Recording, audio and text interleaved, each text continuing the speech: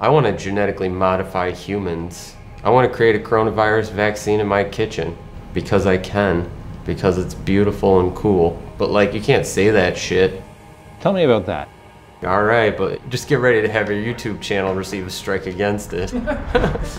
hey, what's up? It's nice to fucking meet you. I'm Josiah. I'm a biohacker. And I'm a heretic because I believe everybody should have the right to do to their body what they wish. Take one, Mark. Radicals, dissidents, rebels, and misfits. You can call them whatever you like. But what if they're right? My name is Mad Dog. No.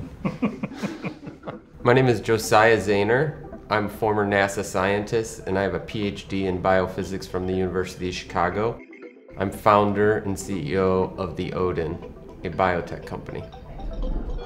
We're talking about bodily autonomy, that people who are suffering and dying of diseases that are untreatable should have the right to inject themselves or test whatever drug they want. People who want to genetically modify themselves to grow another arm or a tail should have the right to be able to do that. I don't want to be a heretic. I don't want to be controversial. I don't want to be interrogated by government organizations. I want people to just accept what I do, that people have the right to body autonomy, people have the right to experiment with science and genetic engineering. I've experimented on myself in countless ways, which has got me tracked down and harassed by governments and tech companies. To have a government, like the German government, come after you, I was so fucking scared. Then I had the FDA come after me because uh, I genetically engineered some yeast against some FDA regulation, blah, blah, blah. Even had run ins with the FBI. Tell me about creating a coronavirus vaccination. Yeah, I mean, you better be uh, ready to have this video taken down, though, you know? it was like May 2020. We're talking pretty early pandemic, right?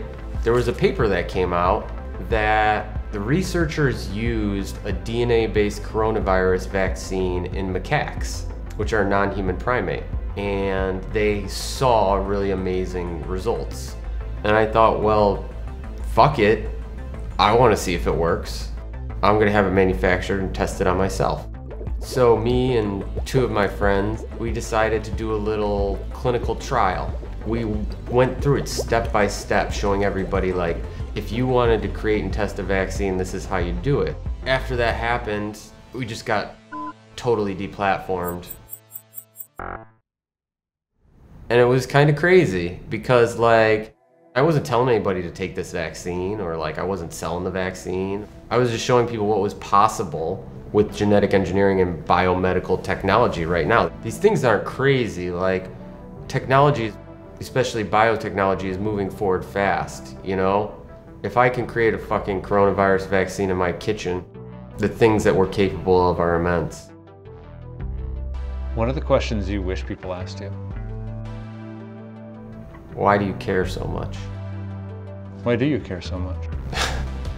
It's a good question. All right. I just thought of it right now.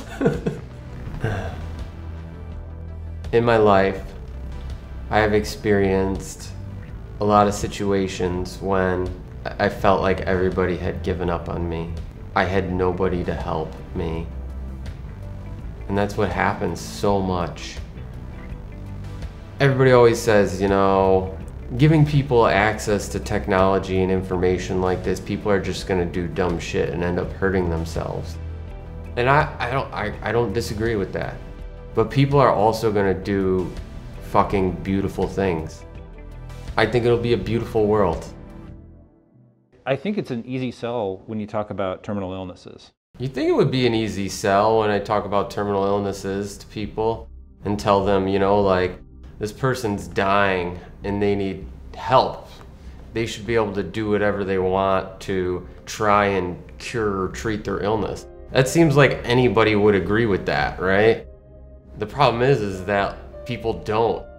If you ever sat there across from somebody and had to look them in the eyes and hold their hands while they told you that they have six months to live And they're looking for anything. Anything. But the fact that you can't even try, if you're not moved by that, what else is there? What are some of the arguments you encounter? They could end up hurt. They could end up suffering more than they're currently suffering. Nobody's asking these people whether it matters to them. I think that's the problem. I worked with a lot of people who had lung cancer, and lung cancer is brutal. Nobody expects to live long.